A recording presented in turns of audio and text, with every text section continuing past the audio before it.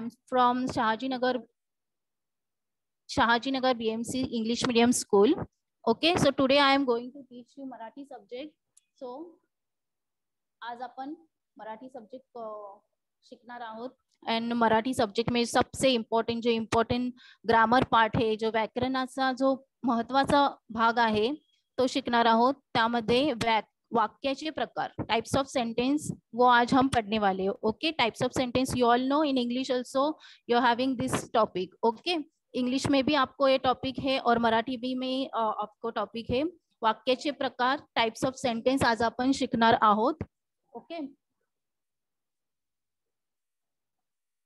सुरुवातीला फ्रॉम वाक्य प्रकार आपण शिकायचं आहे, तर सुरुवातीला वाक्य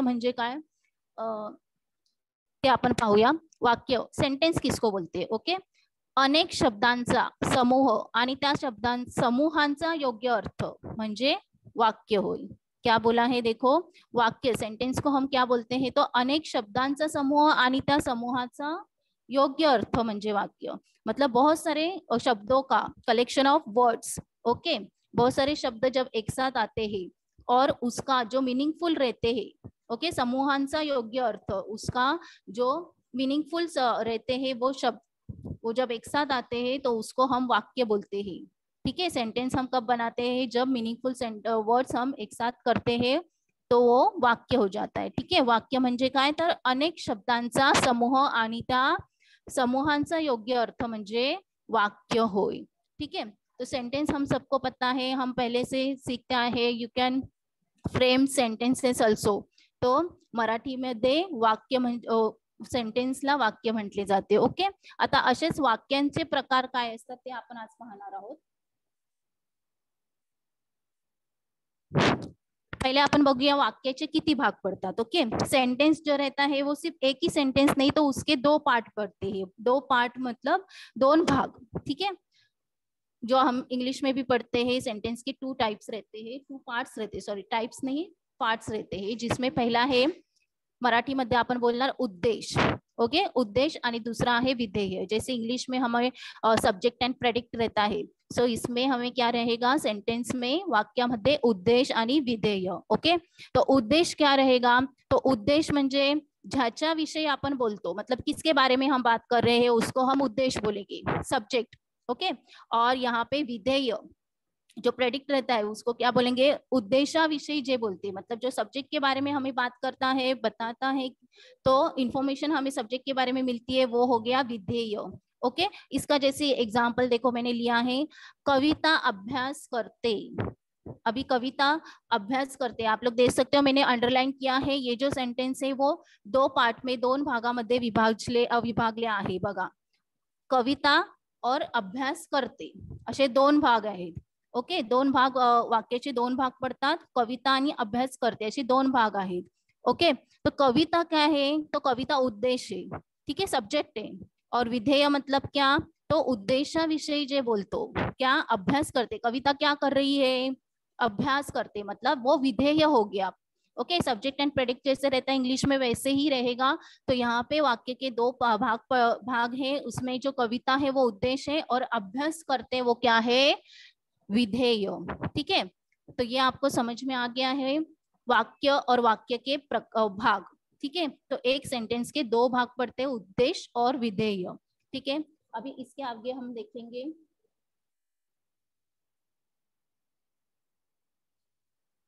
देखो, अभी क्वेश्चन पेपर में आपको ये प्रश्न क्रमांक चार आता है। चार में व्याकरण कृति ग्रामर पार्ट में आएगा। ग्रामर पार्ट जो एट मार्क्स के लिए रहता है, उसमें वाक्य प्रकार ओळखा। ठीक है, ये जो हम लेने वाले आज का जो हमारा टॉपिक है वाक्य प्रकार, ठीक है? तो वो हम लेने वाले हैं वाक्य प्रकार ओळखा, ये टू मार्क्स के लिए, गुण, दोन मतलब क्या? टू मार्क्स के लिए ये क्वेश्चन आता है। तो ये हम लेने वाले ही। पहले तो हमने क्या देखा? तो वाक्य मतलब क्या? उसके बाद वाक्य के दो भाग है, उद्देश्य और विधेय, और अभी हम आगे देखने वाले हैं वाक्य के प्रकार, ठीक है? टाइप्स ऑफ़ सेंटेंसेस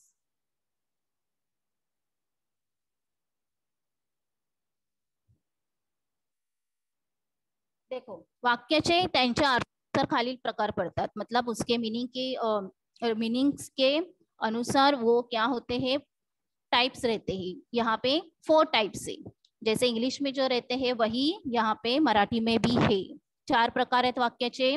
विधानार्थी वाक्य, प्रश्नार्थी वाक्य, उद्गारार्थी वाक्य, आज्ञार्थी वाक्य. ओके जिसको हम विधानार्थी को देखो इंग्लिश में बोलते हैं असर्टिव सेंटेंस प्रश्नार्थी वाक्य को बोलते हैं इंटीरोगेटिव सेंटेंस उद्गारार्थी वाक्य को बोलते हैं एक्सक्लामेटरी सेंटेंस एंड आज्ञार्थी वाक्य को इम्परेटिव सेंटेंस ऐसे बोलते हैं। ठीक है? इंग्लिश में तो आपको पता है, पर मराठी में आपको जो ये वर्ड्स है, विधानार्थी, प्रश्नार्थी, उद्गारार्थी, आज्ञार्थी, ये आपको जानना बहुत ज़रूरी है, क्योंकि बहुत सारे स्टूडेंट्स ऐसे हैं, उनको पता रहता है, ये सेंटेंस जो है विधानार्थी है, प्रश्नार्थी है, प्रश्नार्थी और उद्गारार्थी तो सबसे इजी है।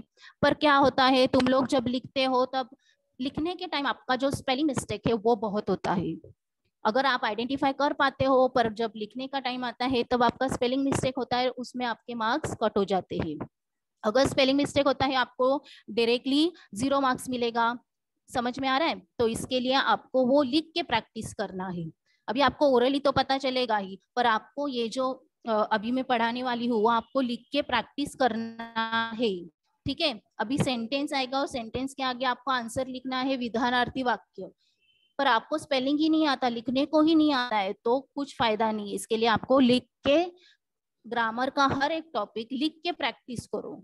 Okay students now will see हम लोग एक एक तो टाइप है, वो देखेंगे। पहला जो है, विधानार्थी वाक्य असिव सेंटेंस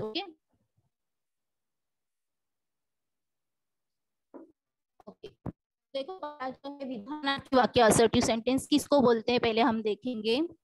विधानार्थी वाक्य मतलब क्या? असर्टिव सेंटेंस में क्या रहते हैं? सेंटेंस इसमें एकदम सिंपल सेंटेंस बोला जाता है। जैसे मराठी में बोलते हैं, साधी वाक्य। क्या रहता है? सादी वाक्य सिंपल सेंटेंस और उसमें सेंटेंस के एंड में क्या रहेगा? फुल स्टॉप रहता है। ओके ज्या वाक्यात एक सरळ विधान केलेले असते वाक्याला विधानार्थी वाक्य असे म्हणतात. सरळ विधान मतलब क्या? तो सिंपल सेंटेंस बोला जाता है कोई कुछ कर रहा है या कुछ इंफॉर्मेशन हमें थोड़ी बहुत मिल जाती है. ठीक है? उस, वो उसको क्या बोलेंगे हम? सिंपल सेंटेंस ओके जैसे उदाहरणार्थ देखो यहाँ पे जैसे राजू आंबा खातो. इससे हमें क्या पता चलता है? सिर्फ़ कि राजू आंबा खा रहा है। ठीक है? तो मतलब क्या ये सिंपल सेंटेंस है ओके और एंड में जो क्या रहेगा तो फुल स्टॉप रहेगा। जैसे सेंटेंस खत्म होता है, वहाँ पे क्या होगा? फुल स्टॉप रहेगा। इसको हम विधानार्थी वाक्य बोलेंगे ओके समझ में आया? जैसे देखो एग्ज़ाम में अगर आपको ये सेंटेंस आता है ओके राजू अंबा खातो तो आप कैसे लिखोगे? आपको सेंटेंस लिखना है और सेंटेंस के आगे आपको लिखना है विधान विधानार्थी वाक्य। ठीक है? जैसे मैंने बोला, आपको इसके लिए लिख के प्रैक्टिस करना है। जो विधानार्थी का स्पेलिंग है, वो आपको लिखने को आना चाहिए। विधानार्थी वाक्य। तो आपका आंसर राइट होगा। समझ में आया? तो ये हो गया सिंपल सेंटेंस विधानार्थी वाक्य सिंपल सेंटेंस रहता है। अभी देखो। अभी कुछ एग्ज़ाम्पल से उदाहरणे मतलब क्या? विधार्थी वाक्यांची उदाहरणे। उदाहरणे का मतलब है एग्जाम्पल्स यहाँ पे कुछ एग्जाम्पल्स है। देखो सिंपल सेंटेंस के। अभिजित बाहेर जातो. रमा पुस्तक वाचते. मी काल गावी गेलो होतो. रमेश खूब काम करतो. देखो मतलब क्या हमें इंफॉर्मेशन मिल रहा है. सिंपल सेंटेंसेस साधी वाक्य आहेत. ओके जैसे अभिजीत बाहेर जातो, अभिजीत बाहर आहे. रमा पुस्तक वाचते मतलब रमा पढ़ाई ये बुक पढ़ रही है. वाचते मतलब पढ़ना. मी काल गावी गेलो होतो. मैं कल गाँव गया था. रमेश खूप काम करतो. रमेश बहुत काम कर रहा है. गौरव शाळेत गेला. गौरव स्कूल गया. दीपाली खूप छान गाती. दीपाली बहुत अच्छा गाती है. तो ये सब सेंटेंस है. देखो छोटे सेंटेंस है और साधी वाक्य आहेत आणि वाक्याच्या शेवटी फुल स्टॉप फुल स्टॉप दिखाई दे रहा है. पूर्ण विराम. ओके ये हमें दिखाई देता है और इससे हमें आइडेंटिफाई करना है कि ये विधानार्थी वाक्य है। अभी विधानार्थी वाक्य तो हम पहचान लेंगे, पर विधानार्थी वाक्यों में दो प्रकार रहते हैं। इसमें भी दो टाइप से जैसे होकारार्थी रहता है एक, नकारार्थी, जिसको हम इंग्लिश में अफॉर्मेटिव सेंटेंस और नेगेटिव सेंटेंस ओके तो ऐसे दो टाइप आते हैं विधानार्थी वाक्य में, याद रखो। अगर वो विधानार्थी है मतलब साधे साधे वाक्य आहे पण ते होकारार्थी आहे की नकारार्थी? ते सुद्धा तुम्हाला आइडेंटिफाई आहे. ठीक है वो भी आपको आइडेंटिफाई करना पड़ेगा. जैसे देखो, अभी होकारार्थी वाक्य मतलब क्या? तो उसमें वो पॉजिटिव सेंटेंस रहेगा वो। होकार असनारी वाक्य. एकदम पॉजिटिव जैसे यहाँ पे दिया है फ़र्स्ट सेंटेंस देखो, राजूला शाळेत जायला आवडते. मतलब उसको स्कूल जाना बहुत पसंद है. ये हो गया होकार आरती पॉझिटिव्ह सेंटेन्स है. रेश्मा सायकल चालवते. रेश्मा सायकल चालवते, रेश्मा सायकल चला रही है बाबा वर्तमान पत्र वाचतात. अब यहाँ पे वर्तमान पत्र मतलब क्या? तो न्यूज़पेपर ओके स्टूडेंट्स बाबा वर्तमान पत्र वाचतात मतलब पढ़ना माझ्या घराजवळ झाड आहे. माझ्या, मेरे घर के पास क्या है? पेड़ है. सुरेश धीट मुलगा है सुरेश बहुत ब्रेव लड़का है. ठीक है? तो ये क्या हो गया? ये सेंटेंस देखो. पाँचों सेंटेंस में क्या है? पॉजिटिविटी दिखाई देती है. ठीक है? तो ये हो गया होकार अर्थी अभी विधानार्थी वाक्य में होकार अर्थी और नकारार्थी ऐसे दो प्रकार मैंने बोला। तो ये सब सेंटेंस है होकार अर्थी के अफॉर्मेटिव सेंटेंस ओके आपको इंग्लिश में भी है, वैसे ही मराठी में रहेगा। इसको हम होकार आरती बोलेंगे। और इसमें सेकेंड जो है, नकारार्थी, देखो अभी नकारार्थी हमें कैसे होकारार्थी तो हम इजीली आइडेंटिफाई करेंगे, उसको हम विधानार्थी और आगे होकारार्थी लिखना है। पर नकारार्थी करने के में क्या नकारार्थी में निगेटिव सेंटेंस रहता है। ओके जैसे फ़र्स्ट सेंटेंस ही देखो यहाँ पे, हरीला शाळेत जाय आवडत नाही. जैसे को पहला जो सेंटेंस था वो क्या था? हरी को स्कूल जाना पसंद था। मतलब वो पॉजिटिव हो गया। पर अभी यहाँ पे क्या? हरीला शाळेत जायला आवडत नहीं. आवडत नहीं मतलब क्या? उसको पसंद नहीं है। ठीक है, उसको पसंद नहीं है। जैसे देखो, हर एक सेंटेंस में आपको एक नकार नेगेटिविटी दिखाई देगी। तो यहाँ पे मराठी में कुछ वर्ड्स ऐसे रहते हैं, जिससे हमें पता चलता है कि वो नेगेटिव सेंटेंस है। जैसे यहाँ पे नहीं लिखा है, ना ही नको ओके तो ये कुछ वर्ड्स है, जिससे हमें पता है कि सेंटेंस नेगेटिव है। मीना आंबा आवडत नाही मीना को मैंगो पसंद नहीं है। शीतल शाळेत गेली नाही, शीतल स्कूल नहीं गई तो ये सब नेगेटिव सेंटेंस है याद को. आज पाऊस पडणार नाही, आज बारिश नहीं गिरने वाली है. आजीने गोष्ट सांगितली नाही आजीने आज क्या गोष्ट मतलब क्या स्टोरी स्टोरी बताई. ठीक है, अभी हर एक सेंटेंस में आप देख सकते हो, हर सेंटेंस में नाही वर्ड जुड़ा हुआ है मतलब क्या, हर सेंटेंस क्या है निगेटिव है. नकार दाखवणारी वाक्य. ठीक है? तो इससे हम चलता है, ये विधानार्थी वाक्य ही है, पर आपको क्या लिखना है? सेंटेंस के आगे आपको लिखना है, विधानार्थी वाक्य, और ये लिखना है नकार हो नकारार्थी वाक्य, ओके? तो ये हो गया अपना विधानार्थी वाक्य में होकारार्थी और नकारार्थी, जो सबसे पहला प्रकार है, वो क्या है? विधानार्थी विधानार्थी में है होकारार्थी और नकारार्थी, ठीक है? अभी हम नेक्स्ट जो है, अभी नेक्स्ट सेकेंड जो दूसरा प्रकार है वाक्य का वो है प्रश्नार्थी। देखो, प्रश्नार्थी इंग्लिश बोलते हैं इंटेटिव सेंटेंस ओके प्रश्नार्थी वाक्य है। प्रश्नार्थी वाक्य म्हणजे काय? तर ज्या वाक्यात प्रश्न विचारलेला वाक्याला प्रश्नार्थी वाक्य असे क्या जिस क्वेश्चन जिस सेंटेंस में प्रश्न पूछा जाता है क्वेश्चन पूछा जाता है, उसको क्या बोला जाता है? प्रश्नार्थी वाक्य बोला जाता है ओके उसको हम प्रश्नार्थी, अभी प्रश्नार्थी वाक्य कितना इजी है देखो कि उसको हम, हमें इजीली आइडेंटिफाई करेंगे क्योंकि हमें क्वेश्चन मार्क दिखाई देता है ओके क्वेश्चन मार्क हमें दिखाई देगा तो हम पहचान जाते हैं वो प्रश्नार्थी वाक्य है। जैसे यहाँ पे फॉर एग्ज़ाम्पल क्या दिया है? तू अभ्यास केला का। केला का और उसके बाद आप देख सकते हो क्वेश्चन मार्क है। प्रश्न चिन्ह बोलते हैं मराठी में उसको। तो वो अगर होगा प्रश्न चिन्ह तो हम पहचान जाते हैं कि वो प्रश्नार्थी वाक्य है। वाक्याच्या शेवटी प्रश्न चिन्ह मतलब के जो एंड में फुल स्टॉप नहीं रहता है तो क्वेश्चन मार्क रहता है। तो क्वेश्चन मार्क देख के अगर आपको, जिसको देखो मराठी एकदम ही वीक है, जिसको समझ में नहीं आ रहा है सेंटेंस का मीनिंग नहीं समझ रहा है बट आप वो क्वेश्चन मार्क देख के इजीली आइडेंटिफाई कर सकते हो। But you should know how to write प्रश्नार्थी ये जो प्रश्नार्थी वाक्य स्पेलिंग है उसका, वो आपको प्रॉपरली लिखने को आना चाहिए। बहुत सारे स्टूडेंट की प्रश्नार्थी श आधा है, याद रखो। श आधा और फिर नार्थी ये प्रॉपरली आपको लिखने को आएगा तो आपका आंसर राइट होगा। नहीं तो आपको आइडेंटिफाई तो करने आ रहा है, पर आप लिख नहीं पा रहे हो। बहुत सारे स्टूडेंट्स हिंदी में लिखते हैं कि प्रश्नवाचक।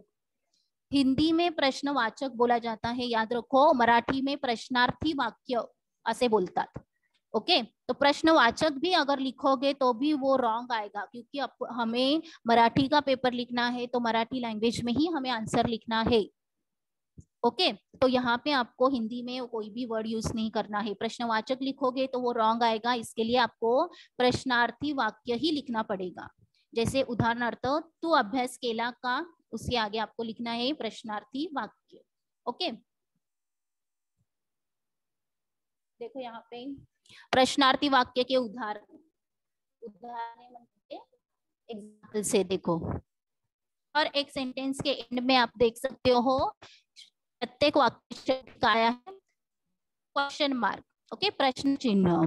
तो आप इजीली पहचान सकते हो। जैसे पहला सेंटेंस है, तुझी शाळा कोठे आहे? मतलब तुम्हारी स्कूल कहाँ है? तुला पेढ़ा आवड़तो का? तुझे पेड़ा पेड़ा पता है ना सबको मिठाई? वो पसंद है क्या? आवड़तो का मतलब क्या? पसंद है क्या? अभी यहाँ पे हिंदी में हम पसंद है क्या पूछते हैं वैसे ही मराठी में का। अभी प्रश्नार्थी के लिए आ, ऐसे कुछ वर्ड्स है जैसे हिंदी में रहते इंग्लिश में रहते हाउ व्हाट वेयर व्हेन वैसे ही मराठी में का केव्हा कुठे कधी कशाला बहुत सारे ऐसे वर्ड्स है जिससे हम प्रश्न पूछा जाता है, जो वर्ड्स हम यूज़ करते हैं प्रश्न पूछने के लिए। अभी यहाँ पे जैसे मुलगा उंच है का, लड़का बड़ा है, लंबा है क्या? उनसा मतलब क्या? लंबा। लंबा है क्या? तो ये भी क्वेश्चन हो गया। तो इसके आगे आप देख सकते हो प्रश्न चिन्ह।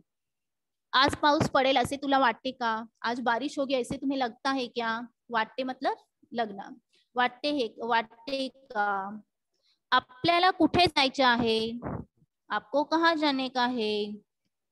विमान प्रवास कोणाला आवड, आवडत नाही? मतलब एरोप्लेन का ट्रैवलिंग किसको पसंद नहीं है? ओके तो यहाँ पे देखो लास्ट में कोनाला कुठे?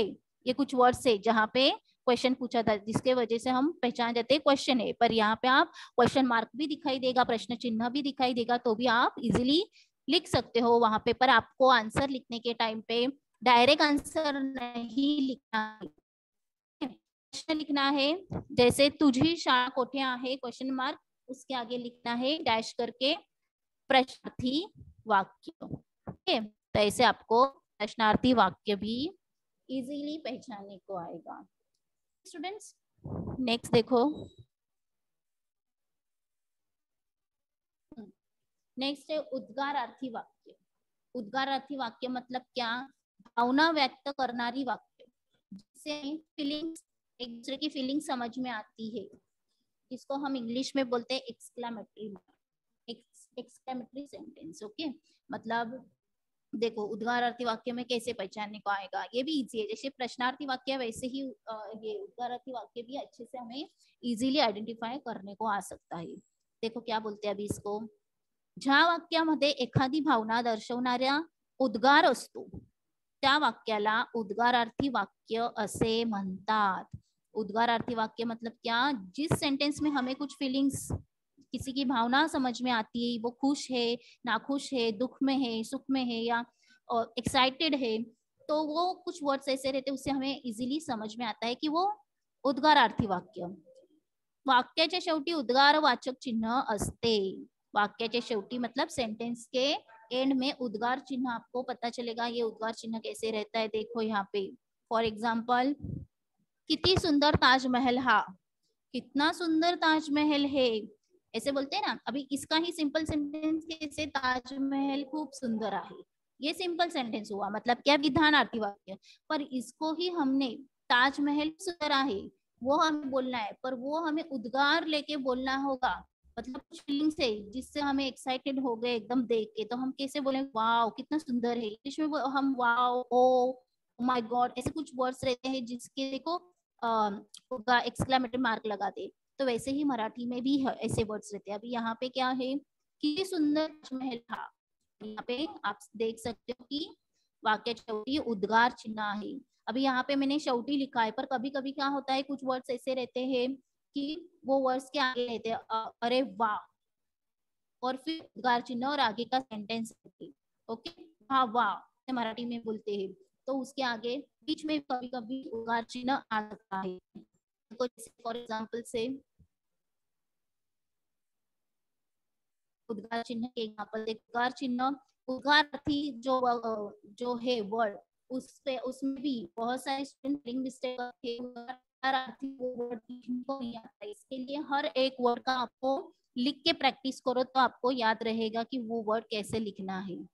नहीं तो आपको समझ में आ रहा है कौन सा वाक्य है, पर आप लिखने को नहीं हो रहा है तो आपको डिफिकल्टी आएगी ओके जैसे देखो यहाँ पे एग्ज़ाम्पल से कुछ, कितनी सुंदर आहे मराठी भाषा, कितनी अच्छी है मराठी भाषा, एक उद्गार चिन्ह दिख रहा है, बाप रे केवड़ा हा पसारा पसारा मतलब बहुत सारा सामान फैला हुआ रहता है ना घर में तो हम उसको मराठी में पसारा बोलते हैं तो यहाँ पे लिखा है देखो, बाप रे केवड़ा हा पसारा अभी ये वर्ड तो कुछ वर्ड ऐसे कॉमन रहते हैं हिंदी में भी और मराठी में भी तो उसका आपको मीनिंग समझ में सकता है। अरे रे रे फार वाइट झाले। अभी देखो इस इससे हमें पता चलता है कुछ तो बुरा हुआ फार वाइट तो बुरा हुआ बहुत बुरा हुआ।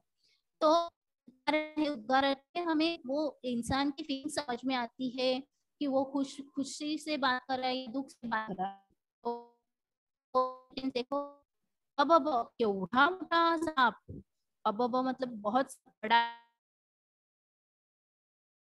अब एवढा मोठा साप शाबाश। परीक्षा पास झालास? देखो, अगर अच्छे मार्क्स आए तो हम शाबाश मिल जाते हैं तो यहाँ पे शाबाश के बाद हम देख सकते हैं उद्गार चिन्ह, ठीक है? परीक्षा साल, परीक्षा मतलब एग्ज़ाम हो गया। तो इसलिए खुशी का सेंटेंस है, देखो। इससे पता चलता है हाँ कि सामने वाला खुश है। इसके लिए बोल रहे हैं। क्लास किती उंच कितनी ओके? यहाँ पे आएगा उद्गार चिन्ह. देख सकते हो, हर एक सेंटेंस में, यहाँ पे मैंने सिक्स सेंटेंस लिखा है, हर सेंटेंस में उद्गार चिन्ह आपको दिखाई देता है। इस चिन्ह को देख के आप समझ जाओ वैसे ही यहाँ पे उद्गार चिन्ह को देख के आपको इजीली आइडेंटिफाई करना है कि वो उद्गारार्थी वाक्य है। ठीक है स्टूडेंट समझ में आया? अभी देखो नेक्स्ट देखो, अभी पहले से हमने क्या देखा? विधानार्थी वाक्य देखा विधानार्थी वाक्य में हमने क्या देखा? होकारार्थी, नकारार्थी, उसके बाद प्रश्नार्थी वाक्य देखा, और उसके बाद कारार्थी वाक्य, और अभी जो लास्ट है अपना, ये विधान सॉरी आज्ञार्थी वाक्य है। अभी आज्ञार्थी किसको बोला जाता है, देखो? हम इंग्लिश में बोलते हैं इम्परेटिव्ह सेंटेंस आज्ञार्थी वाक्य। ज्या वाक्यामुळे आज्ञा, सल्ला, उपदेश, विनंती इत्यादी अर्थांचा बोध होतो. त्या वाक्याला आज्ञार्थी वाक्य असे म्हणतात. देखो, बहुत सारे स्टूडेंट्स आज्ञार्थी वाक्य और विधानार्थी वाक्य में कंफ्यूज हो जाते हैं क्योंकि सेंटेंस का मीनिंग ही नहीं समझ में आता है। इसके लिए आपको ये प्रॉब्लम फेस करना पड़ता है। अगर सेंटेंस का आपको मीनिंग अच्छे से समझ में आया तो आप आइडेंटिफाई कर सकोगे, वो आज्ञार्थी है या विधानार्थी। अभी आज्ञार्थी वाक्य हमें कैसे पहचानना है? जैसे आज्ञार्थी में क्या रहेगा कि आज्ञा दी जाएगी। आज्ञा मतलब क्या? ऑर्डर दिया जाएगा रिक्वेस्ट किया जाएगा एडवाइस किया जाता है सजेशन किया जाता है। ओके तो उसको हम मराठी में बोलते हैं आज्ञार्थी वाक्य, जो इंग्लिश में हम इम्परेटिव सेंटेंस जैसे फॉर एग्ज़ाम्पल इंग्लिश में कुछ वर्ड्स है, जैसे प्लीज़ मे आई कमिंग ऐसे कुछ सेंटेंस रहते मतलब क्या हम ये कर रहे हैं रिक्वेस्ट कर रहे हैं या may I do your work तो ये सब कुछ सेंटेंस ऐसे रहते हैं, उसको इम्परेटिव हम इंग्लिश में बोलते हैं। पर यहाँ पे क्या आएगा? आज्ञार्थी वाक्य में क्या आएगा? मराठी में इसको आज्ञा बोलते हैं। जैसे ऑर्डर देना, किसी को काम करने के लिए बोलना, किसी को कुछ करने के आज्ञा बोलते या किसी को एडवाइस देना कि ऐसा नहीं करना चाहिए तो वो हो गया आज्ञार्थी वाक्य। देखो, यहाँ पे क्या एग्ज़ाम्पल दिया है मैंने? मुलानो रांगेत साला। देखो, अभी ये क्या हो गया? अगर टीचर को कुछ बताना है तो टीचर क्या बोल रही है? मुलानो रांगेत साला। रांगेत मतलब लाइन में चलना है।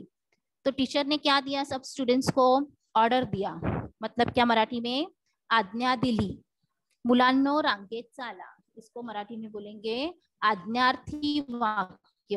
क्या हो गया ये? आज्ञार्थी। जब टीचर जो है, वो स्टूडेंट्स को बच्चों के क्या बोल रहे हैं कि बच्चों लाइन में चलो, ये क्या हो गया ऑर्डर हो गया। तो ये ऐसे आपको अगर पहले सेंटेंस का मीनिंग समझ में आया तो आप इजीली लिख सकते हो वो आज्ञार्थी वाक्य है। ठीक है? जैसे कुछ एग्ज़ाम्पल से।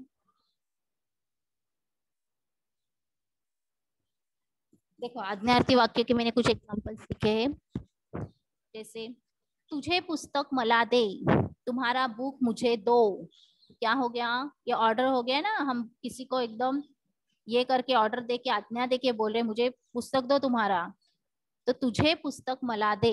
ओके याद रखो, आज्ञार्थी वाक्य और विधानार्थी वाक्य में बहुत डिफरन्स आहे विधानार्थी वाक्य मतलब सिंपल सेंटेन्स रहता है।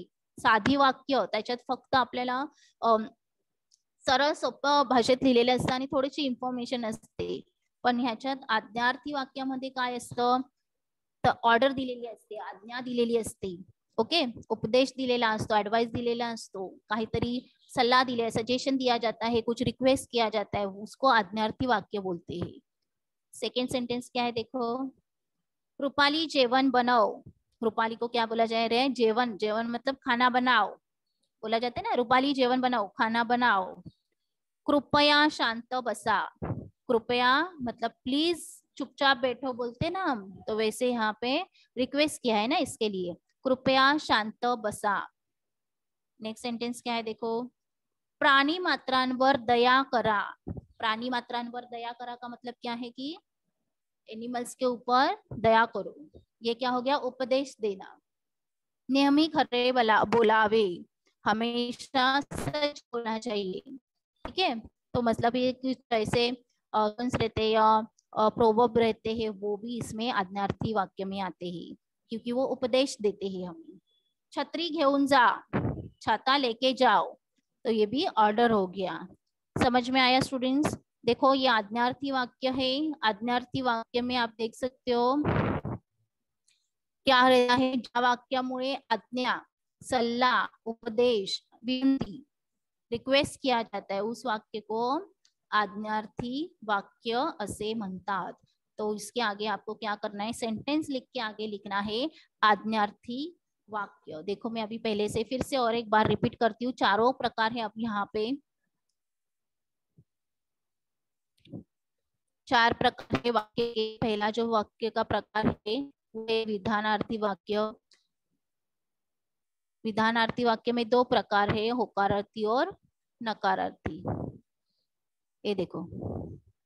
विधानार्थी वाक्य को बोलते हैं, साधी वाक्य ज्या वाक्य सरळ विधान केलेले असते सिंपल सेंटेंस उसको विधानार्थी वाक्य राजू अंबा खातो एग्ज़ाम्पल दिया है तो यहाँ पे सिंपल सेंटेंस और लास्ट में सेंटेंस के आगे फुल स्टॉप है। तो इसको हम बोलेंगे विधानार्थी वाक्य ओके नेक्स्ट जो है विधानार्थी वाक्य के भी मैंने कुछ एक्झाम्पल्स लिखे, जैसे अभी बाहर जातो, रमा पुस्तक वाचते, मी काल गेलो होतो, ये विधानार्थी वाक्य सिंपल सेंटेंस उसमें मैंने जैसे बताया, उसमें होकारार्थी और नकारार्थी प्रकार आएँगे। सकारार्थी अफर्मेटिव सेंटेंस बोला जाते हैं उसको, जिस पॉजिटिव सेंटेंस जैसे राजूला शायद जाए वैसे ही वही आपको निगेटिव लिखना है। निगेटिव में आप क्या लिखोगे? जैसे राजूला शायद आवड़त नहीं आएगा? तो इससे आप जाओगे वो वर्ड क्या है? तो नकारार्थी वाक्य। नाही वर्ड आए तो आप पहचान जाओगे नकारार्थी है। पर आप सिर्फ़ नकारार्थी नहीं लिखना है तो आप क्या लिखोगे? विधानार्थी वाक्य और in bracket you have to write नकारार्थी। क्या लिखोगे? नकारार्थी लिखना है। ठीक है? मीनाला आंबा आवड़त नाही, शीतल शायद गेली नाही नाही वर्ड से हमें पता चलता है ये नेगेटिव सेंटेंस है। ओके नेक्स्ट वो है प्रश्नार्थक। देखो, पहले विधानार्थी वाक्य में था होकारार्थी नकारार्थी सेकंड जो है, प्रश्नार्थी वाक्य। प्रश्नार्थी वाक्य में जैसे मैंने बताया की ज्या वाक्यात प्रश्न विचारलेला असतो वाक्याला प्रश्नार्थी वाक्य म्हणतात. मतलब जिस सेंटेंस में प्रश्न पूछा जाता है क्वेश्चन मार्क रहता है, प्रश्न प्रश्न चिन्ह वाक्याला प्रश्नार्थी वाक्य जैसे तू अभ्यास केला का? ओके तुझी शाळा कोठे आहे? देखो, हर सेंटेंस में आपको प्रश्न चिन्ह दिखाई देगा. तुला पेढा आवडतो का? मुलगा उंच आहे का? तो ये क्वेश्चन मार्क से हमें पता चलता है कि ये प्रश्नार्थी वाक्य है। याद रखो, मैंने जैसे बोला है, आपको लिख के प्रैक्टिस करना है। आपको वो स्पेलिंग आने चाहिए। अगर आपको लिखने को आएगा तो ही आप लिख पाओगे या आपका आंसर राइट होगा। आपको ओरली अगर हम मैं पूछूँगी तो आप इजीली पहचान जाओगे कि ये प्रश्नार्थी है, विधानार्थी है। पर आपको जब लिखने का टाइम आएगा, तब आपका स्पेलिंग मिस्टेक होगा। इसके लिए राइटिंग प्रैक्टिस करना बहुत ज़रूरी है। नेक्स्ट है उद्गार्थी वाक्य। वाक्य में जैसे बता कि एक भावना चवणारा उद्गार असतो फिलिंग्स पता चलती है, उसको उद्गार अर्थी वाक्य बोलते हैं। तो यहाँ पे उद्गार जी नाम है उद्गार वाक्य में किती सुंदर ताजमहल, हा, उद्गार चिन्ह आपको सबको दिखाई दे रहा है। यहाँ पे किती सुंदर आहे मराठी भाषा बापरे केवढा हा पसारा। तो ये उद्गार चिन्ह देख के आपको क्या आप लिखाओगे कि उद्गारार्थी वाक्य? वाक्य लिख फिर आगे आपको लिखना है उद्गारार्थी वाक्य। ओके? और जो बाद में बताया आज्ञार्थी वाक्य जो है, आज्ञार्थी वाक्य में है तो इसमें वाक्यामध्ये आज्ञा आहे सल्ला आहे उपदेश आहे, विनंती है, इत्यादि अर्थांचा बोध हो। मतलब जिस वाक्य में सेंटेंस में और दिया जाता है या कुछ एडवाइस दिया जाता है रिक्वेस्ट किया जाता है उसको, आज्ञार्थी वाक्य ऐसे बोला जाता है, जैसे फॉर एग्ज़ाम्पल मुलानो झाला ठीक है? तुझे पुस्तक सब सेंटेंस में हमें आज्ञार्थी वाक्य है। देखो, यहाँ पे हमने चार प्रकार देखे, विधानार्थी, प्रश्नार्थी, उद्गारार्थी और आज्ञार्थी, ठीक है? विधानार्थी में दो प्रकार के, होकारार्थी और नकारार्थी। मैंने कुछ एग्जाम्पल्स दिए लहान मुलांनी आगी सोबत तो एग्ज़ाम में ऐसे आएगा, आपको एग्ज़ाम में क्या करना है, वो सेंटेंस लिख के आगे जैसे मैंने यहाँ पे लिखा है, वैसे आपको यहाँ पे लिखना है, कौन सा है अज्ञार्थी है, प्रश्नार्थी है, या जो भी वो लिखना है, ओके? ये एग्ज़ाम्पल से पहला जो है, देखो, लहान मुलांनी छोटे बच्चों के साथ खेलना नहीं चाहिए। तो ये क्या हो गया? ये एक एडवाइस हो गया एक हो गया ना? तो इसको क्या बोलेंगे? आज्ञार्थी वाक्य। देखो सेंटेंस का मीनिंग समझ में आएगा तो आप लिख सकते हो आज्ञार्थी वाक्य। नहीं तो क्या होता है? विद्यार्थी वाक्य में और आज्ञार्थी वाक्य में कंफ्यूजन हो जाता है। याद रखो, आज्ञार्थी वाक्य में आज्ञा दी जाती है। तो तीन चार बार एटलीस्ट वो सेंटेंस रीड करके देखो। फिर आपको समझ में आएगा वो क्या है, विधानार्थी है या आज्ञार्थी सेकेंड देखो, मनोज, अभ्यास कर। अभी मनोज को ये ऑर्डर दिया गया है कि अभ्यास कर। ठीक है? अगर ऐसे सेंटेंस रहे, मनोज, अभ्यास कर तो। मनोज, अभ्यास कर तो ये हो गया क्या? विधानार्थी वाक्य। कि मनोज क्या कर रहा है? पढ़ाई कर रहा है। और यहाँ पे क्या बोला है सेकेंड सेंटेंस में देखो, मनोज, अभ्यास कर। उसको ऑर्डर दिया गया है ना? आज्ञा दी गई है कि अभ्यास कर तू। तो यहाँ पे ये आज्ञार्थी वाक्य। देखो, वाक्य रूपांतर भी आपको जो सेकेंड पार्ट है, ये तो वाक्य प्रकार ओळखा है मतलब हम आइडेंटिफाई कर रहे हैं अभी। इसके बाद का जो प्रकार है, वो क्या है? वाक्य रूपांतर मतलब एक सेंटेंस को दूसरे सेंटेंस में, दूसरे वाक्य प्रकार में आपको रूपांतर करना है। जैसे अभी मैंने किया, आज्ञार्थी वाक्य, मनोज अभ्यास कर और उसको विधानार्थी बनाओ, ऐसे भी क्वेश्चन आएगा। अभी ये क्वेश्चन तो वाक्य ओळखा का है और इसके बाद वाक्य रूपांतर भी रहता है। तो वो वाक्य रूपांतर भी आपको आना चाहिए। अभी मनोज अभ्यास कर का विधानार्थी क्या होगा? मनोज अभ्यास कर तो।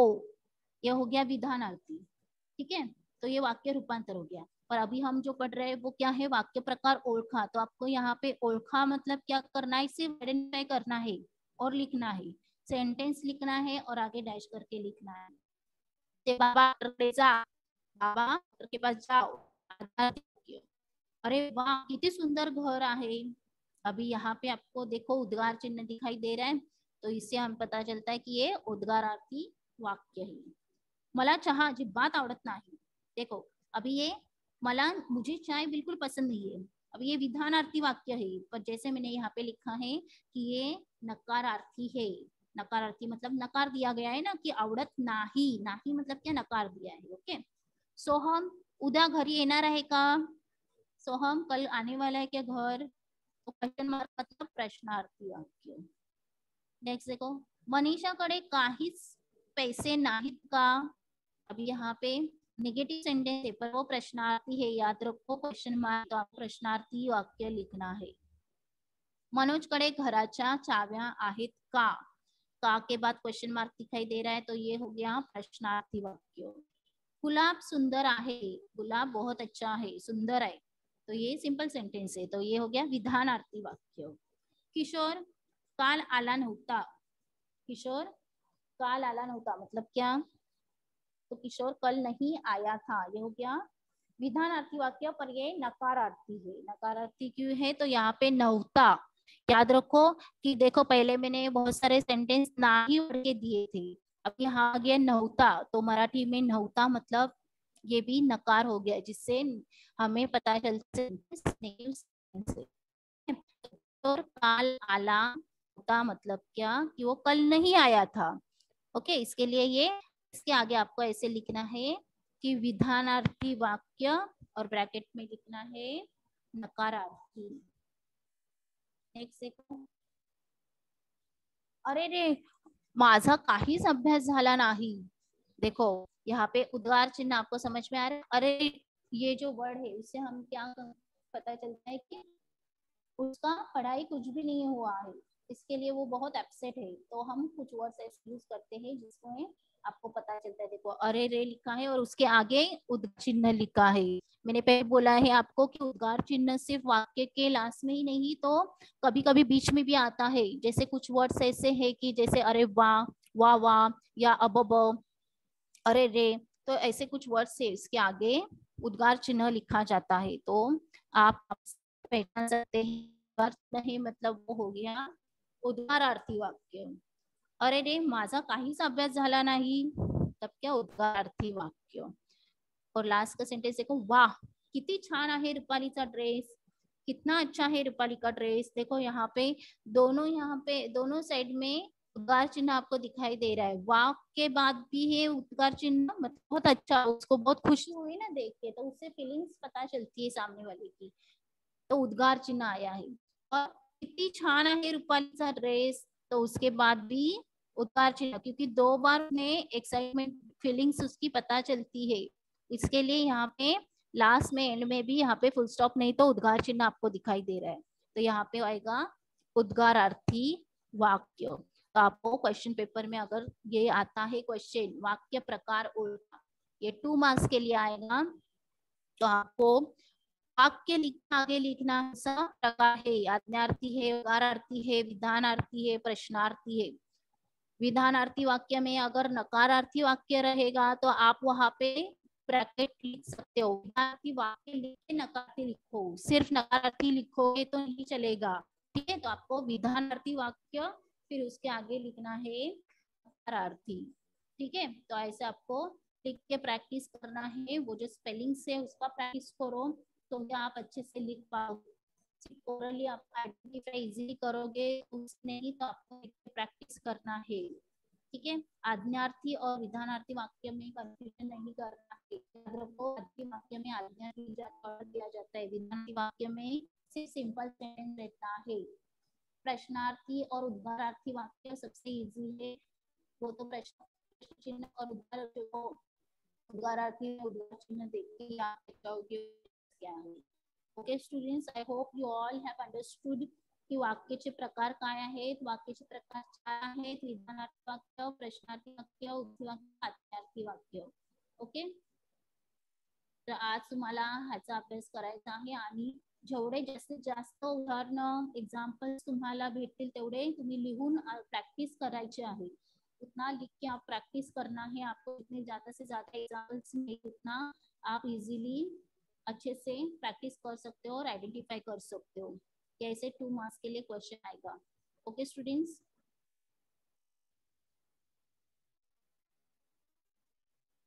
okay thank you